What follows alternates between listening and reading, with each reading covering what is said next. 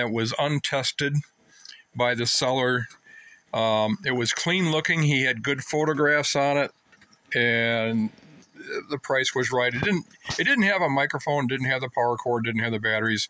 So I've converted the battery box to using um, four 2880s lithium ion cells, and I I got chargers for those. I pull them out.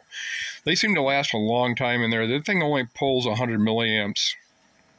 I think with the light on um, in the receive mode. Anyway, I got this thing. I thought I was going to be on six meters, and I, I was thinking to myself, you know, when I get this thing, I'll see how it works on six, but there's not a lot of activity on six. There is a lot of activity right now in the year 2024 on 10 meters. And I thought, man, I'll try and figure out a way to convert